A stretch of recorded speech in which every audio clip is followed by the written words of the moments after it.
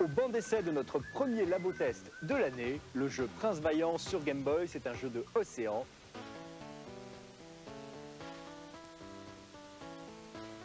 Le but du jeu est de choisir entre deux royaumes, le royaume des ténèbres et le royaume de la lumière, et de conquérir euh, l'un. Quand on s'associe à un des deux camps, il faut essayer de battre l'autre, donc de le conquérir. Il faut aller dans les forêts, les montagnes, battre euh, des, des- des chevaliers euh, du château opposé. Pour battre les chevaliers, on peut utiliser les armes suivantes. Euh, l'arc, l'arbalète, l'épée et euh, la, la dague. L'arme la plus efficace est l'arc. Les points forts du jeu sont euh, l'animation, La musique, elle est très bien faite, je trouve. À chaque décor, euh, il y a, dans prat- pratiquement chaque décor, il y a une autre musique. Les points faibles sont les graphismes et euh, la maniabilité.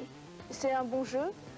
Je pense que pour arriver à la fin, il faudrait très très longtemps. C'est pour des gens patients.